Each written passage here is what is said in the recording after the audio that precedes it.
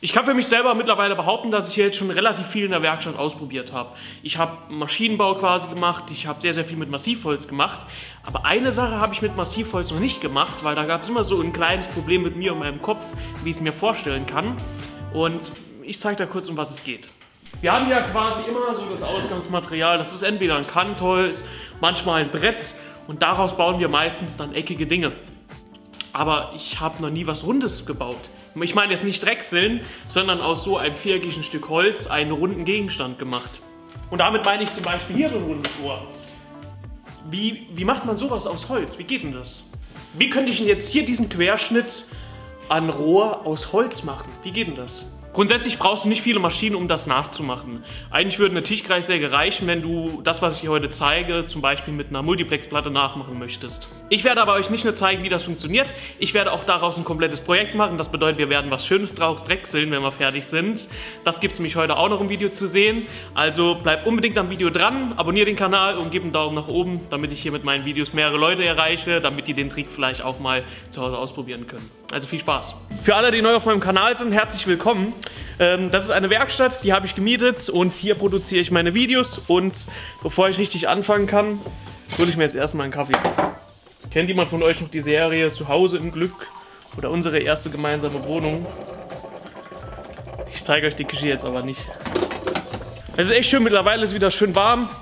Ich muss aber dennoch den Ofen anmachen, denn hier drin ist es immer so ein bisschen kühler als draußen. Ist eigentlich ganz gut, weil im Sommer bedeutet das, dass es hier drin auch kühler sein wird, als es draußen sein wird. Ich habe euch ja schon versprochen, wenn ich das Ganze heute aus Massiv... What?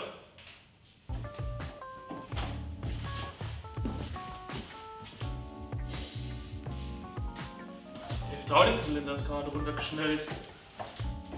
Ich habe euch ja schon gesagt, dass ich hier für dieses Projekt äh, Massivholz benutzen möchte. Das habe ich nicht teuer gekauft, das habe ich selbst aufgeschnitten. Und zwar hatte ich nämlich noch einen Kehrstand übrig, den ich vor eineinhalb Jahren mittlerweile, glaube ich, zugeschnitten habe. Und das Holz verbirgt sich hier unter dieser Palette. Aus welchem Holz machen wir das heutige Projekt? Hier haben wir einmal ein Stück Kirsche.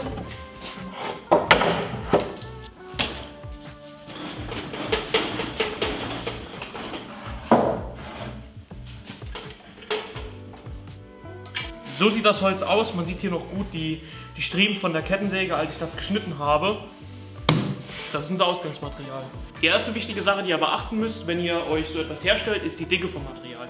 Die muss natürlich überall gleich sein und deswegen werden wir jetzt das Holz jetzt zu Beginn erstmal herrichten, damit wir überall die gleiche Dicke haben.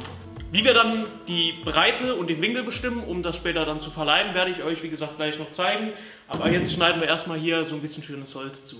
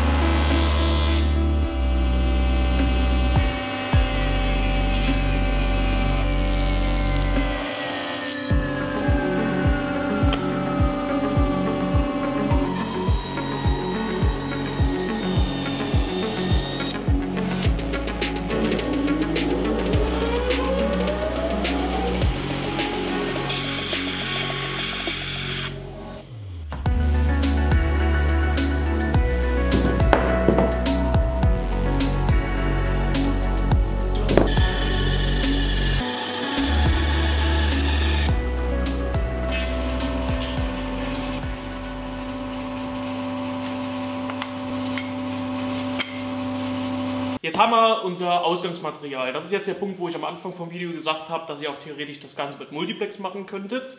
Aber ich will daraus ja noch was Schönes drechseln.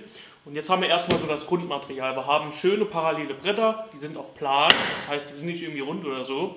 Und die haben schon mal einen guten Anhaltspunkt, weil wir hier oben eine 90 Grad Kante haben. Die Stücke müssen wir gleich an der Tischkreissäge auf den passenden Winkel und auf die passende Breite schneiden. Aber das Tipp, das, der, der Tipp, wie es auch im Titel steht, den zeige ich euch jetzt, wie ihr ohne viel Kopfzerbrechen euch die Breite bestimmen könnt und den Winkel, auf den ihr das Holz zuschneiden müsst. Den Trick gibt es jetzt. Grundsätzlich, dieser Tipp hier ist genial, wenn man es so ein bisschen veranschaulichen möchte und man sich, bevor man das ganze Holz herrichtet und zuschneidet, damit man weiß, okay, die Bretter werden in etwa so breit und so wird es in etwa aussehen. Dafür ist halt dieser Tipp ganz, ganz wichtig. Also ich habe hier oben zum Beispiel meinen Innendurchmesser, der soll 15 cm haben und dann habe ich mir schon mal das Maß aufgeschrieben, wie breit halt eben das Material wird. In dem Fall waren es 22 mm, ich bin jetzt auf 21 mm rausgekommen und das ist einmal hier das Material und einmal hier das Material. Das bedeutet Innendurchmesser plus die Wandstärke, dann kommen wir halt eben hier auf dieses äußere Maß. Dann habe ich mir auch hier erstmal den Innendurchmesser, das ist jetzt quasi die Draufsicht, ich habe mir erstmal den Innendurchmesser mit dem Zirkel markiert und dann den Außendurchmesser. Dann habe ich das Ganze einmal in der Mitte geteilt, nochmal in der Mitte geteilt, damit wir quasi vier Segmente haben. Und dann habe ich das Ganze nochmal geteilt. Und jetzt sehe ich schon, okay, ich könnte es jetzt nochmal teilen, dann hätten wir zwölf, zwölf äh, Teile quasi für diesen Zylinder, den wir herstellen möchten, aber das wird einfach zu viel, da haben wir zu viele Fehlerquellen. Und aus dem Grund finde ich, okay, wenn jedes Viertel aus zwei Teilen besteht, dann kann ich das gut herstellen. Und dann dann wird es wahrscheinlich ganz gut funktionieren und ich kann es besser in meinem Kopf reinbekommen. Ein Kreis hat 360 Grad, deswegen können wir jetzt zählen. 1, 2, 3, 4, 5, 6, 7, 8. 360 durch 8. Dann haben wir 45 Grad. Aber wir müssen ja so sehen. Wir haben hier einen Teil und diese Gärung ist auf beiden Seiten. Deswegen müssen wir diese 45 Grad wieder durch 2 teilen und haben jetzt halt eben unsere 22,5 Grad, die wir auf der Tischkreissäge einstellen müssen und an jedes Teil schneiden müssen. Ja, und wie ist denn das jetzt mit der Breite? Wie breit muss dieses Teil werden, damit ich hier irgendwie meinen, meinen Korpus hinbekomme? Das ist, wenn ihr das so tut, sehr, sehr einfach, denn ihr könnt jetzt sagen, okay, natürlich ist das Holz, was ich jetzt zuschneide, nicht rund.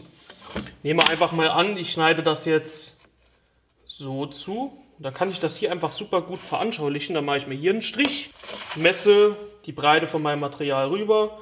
Das ist in dem Fall 22 mm, das geht dann also bis hierhin in etwa. Und das bedeutet, okay, wenn ich jetzt quasi mit meinem Brett an die inneren Kanten von meinem Kreis gehe, dann werde ich in etwa so dick hier an dieser Stelle. Das heißt, wenn ich es hier rund mache, kann ich hier jetzt schon mal bestimmen, okay, das Teil wird in etwa 17,5 cm im Durchmesser.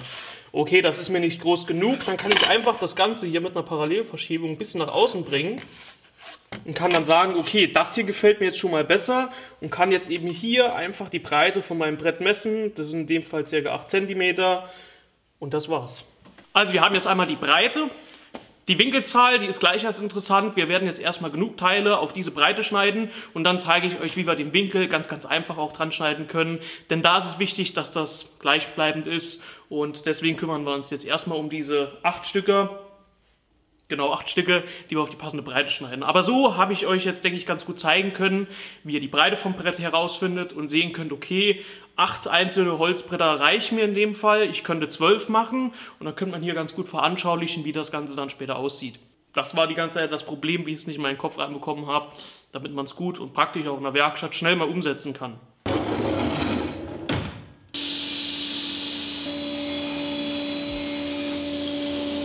So, das letzte Stück ist auf die Breite geschnitten und das Wichtigste ist jetzt erstmal, dass es den Anschlag nicht bewegt. Denn wenn wir jetzt den Winkel einstellen, dann schneiden wir quasi, wenn wir den Anschlag nicht bewegen, genau hier unten an der Kante vom Brett wieder entlang. Dann müssen wir nichts mehr neu einstellen, außer die, die äh, Gradzahl von der Säge. Diese Tischkreissäge war früher mal super, super teuer. Und ich glaube, das ist auch so ein Grund, warum es super genau ist. Einfach weil es halt nicht ganz gut gebaut ist. Das hier müssten jetzt ziemlich genau 22,5 Grad sein. Ihr könntet aber so eine Bubblebox benutzen. Wenn ihr nicht wisst, was ich meine, schaut kurz in die Videobeschreibung. Das ist ein bisschen schwierig auf die Kamera zu bekommen, aber jetzt seht ihr, was ich meine mit Anschlag nicht verstellen.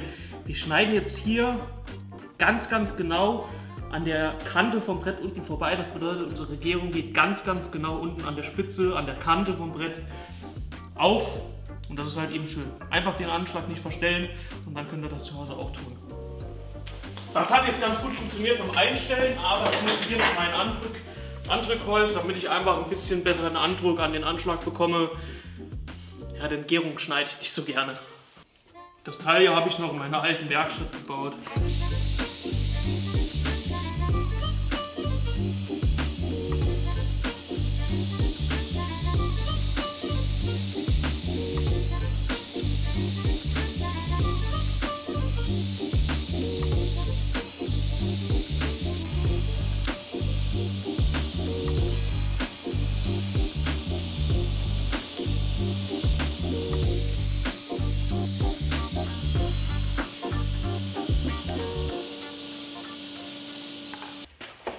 Müssen wir die Teile verleihen. Ganz wichtig ist natürlich, dass wir jetzt nicht die Teile in der falschen Reihenfolge verleihen.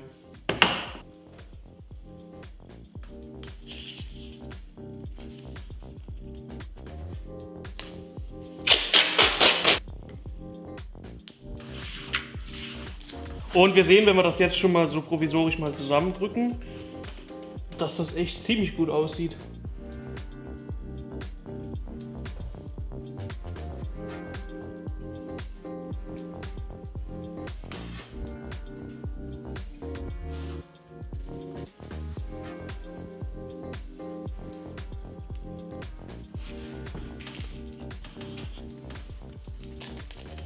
Dann wollen wir mal schauen, ob wir das hier auch richtig gemacht haben. Das sieht eigentlich schon ganz gut aus. Wenn wir hier oben auf die Stirnseiten schauen, sehen wir jedoch ein paar ganz, ganz kleine Lücken. Aber ich will mich davon jetzt gar nicht so viel beeinträchtigen lassen. Ich will jetzt das Ganze gleich erstmal rund machen, um zu sehen, wie es halt ihr so im, im mittleren Material dann noch aussieht. Denn das ist für mich entscheidend. Jetzt erstmal nicht so sehr hier die Stirnseiten.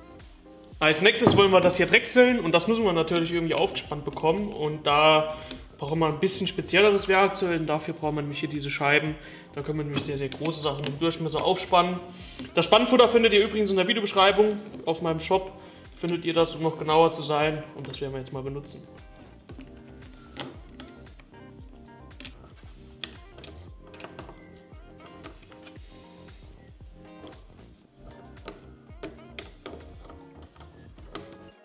Ich zeige euch jetzt gerade einmal, wie wir das Ganze spannen werden. Und zwar können wir das jetzt von außen nach innen nicht spannen, obwohl das jetzt besser wäre. Dafür müsste ich mir jetzt hier Multiplexplatten herstellen, die ich hier drauf schraube. Aber wir können auch von innen nach außen spannen. Da dürfen wir halt einfach nicht so viel Wumms auf das Spannfutter geben, damit wir dann das Holz nämlich nicht auseinanderdrücken.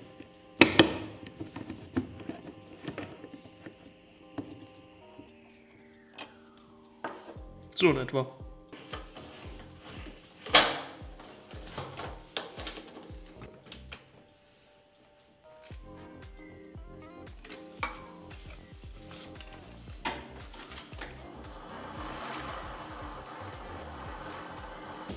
Haben das jetzt eingespannt und ihr seht, das läuft wirklich exakt rund. Ich mache es mal an. Hier vorne werden wir uns gleich wahrscheinlich eine Stütze herstellen, damit, wir, damit uns das auch nicht aus dem Spannfutter rausfliegt. Weil wenn das hier aus dem Spannfutter rausfliegt, wird es sehr wahrscheinlich kaputt sein.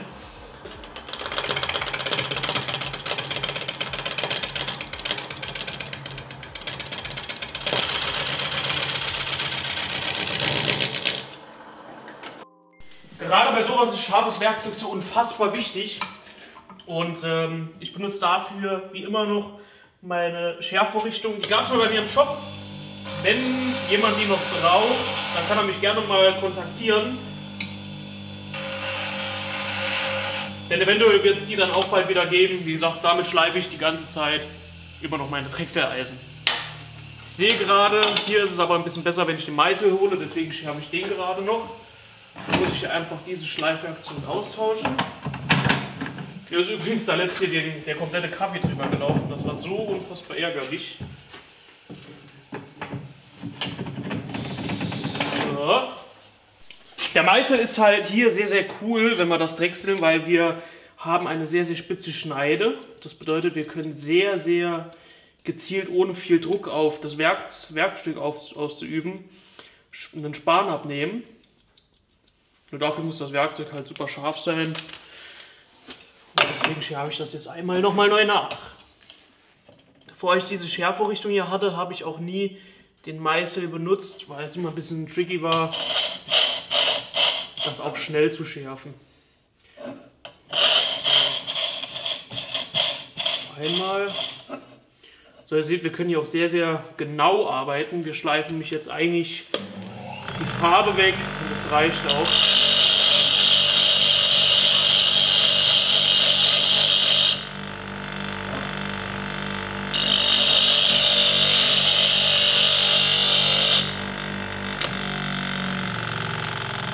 So, ihr seht, ich kann hier direkt auf die Schneide draufgreifen, weil ich halt eben nicht viel Druck drauf gebracht habe.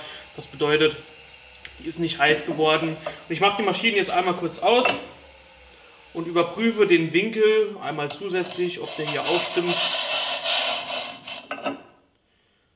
Ja, der müsste eigentlich auch stimmen.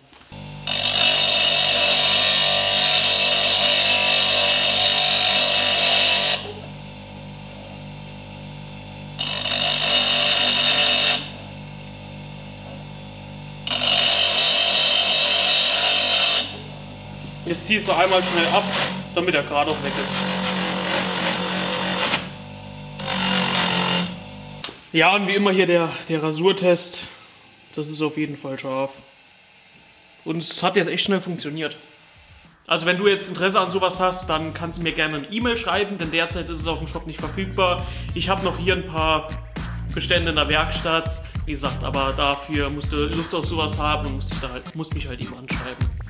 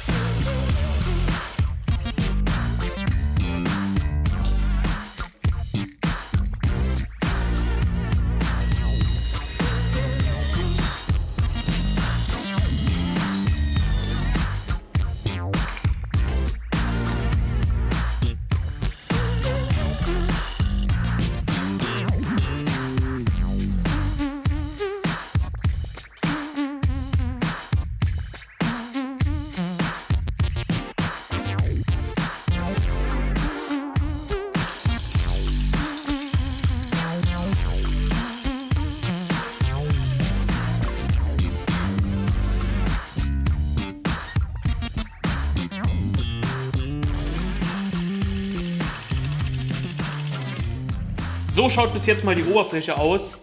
Also man erkennt fast keine Leimfuge. Wirklich, wirklich toll. Hier sehen wir eine ganz, ganz kleine Leimfuge. Theoretisch ist wahrscheinlich genau auf der gegenüberliegenden Seite. Dann die andere Fuge. Nee, nicht Hals. Also das sieht schon wirklich sehr, sehr ordentlich aus. Das müssen wir jetzt schleifen und dafür benutze ich wie jedes Mal meinen Schleifgriff, der sich hier unten drin befindet. Das ist zum einen, zum einen einmal hier dieses Teil, da ist ein Kugellager drin. Und dann kann man hier oben einen Schleifaufsatz reinstecken. Da gibt es auch verschiedene Größen, das ist dann alles in einem Set enthalten. Ich benutze jetzt hier zum Beispiel den großen, weil ich sehr viel Platz habe, aber es gibt auch kleinere 50 mm Aufsätze, die haben hier Schaumstoff, die sind sehr, sehr ergiebig und sehr, sehr langlebig. Also das hier sind immer noch die ersten Köpfe, die ich seit jeher benutze. Und ähm, genau, hier könnt ihr einfach ganz, ganz schnell das Ganze austauschen. Die können dann noch auf den Akkuschrauber drauf spannen, um punktuell dann noch was äh, zu schleifen und das Holz innen drin ein bisschen ausgerissen ist. Dazu habe ich auch passendes Schleifpapier. Das ist eigentlich das Schleifpapier, mehr braucht man nicht. Das ist einmal von 80 bis zur Körnung 600. Das ist das ganze Schleifpapier in einem Set. Ich verlinke euch die Teile unten in der Videobeschreibung. Gibt es auf meiner Webseite. Ist von mir, also keine Fremdwerbung, sondern Eigenwerbung.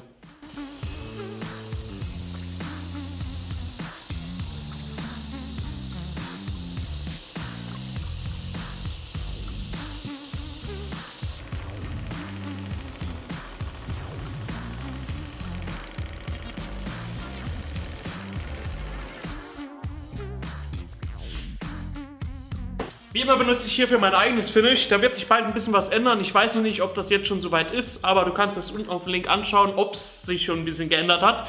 Auf jeden Fall benutzen wir das. Das ist ein Bienenwachs-Finish, um halt eben jetzt das Holz ein bisschen zu schützen. Das ist dann auch ein bisschen gegen Wasser geschützt. Wenn man das zum Beispiel bei Schneidebrettern benutzt, perlt das Wasser nach dem Spülen ab. Mega, mega coole Sache. Wir schauen uns jetzt aber am Holz an, wie das jetzt aussieht. Einfach ein bisschen nehmen und dann aufs Holz einreiben. Das sieht so abgefahren aus.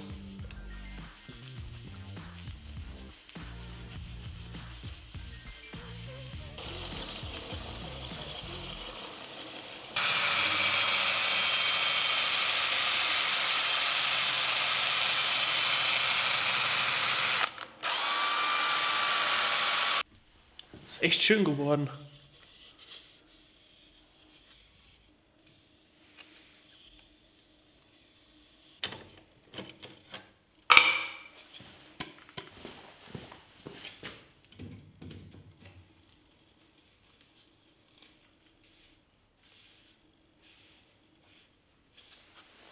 Gebt dem Video doch einen Daumen nach oben, wenn dir das Ganze bis jetzt gut gefallen hat. Auf jeden Fall sind wir jetzt auch schon fertig mit dem Projekt.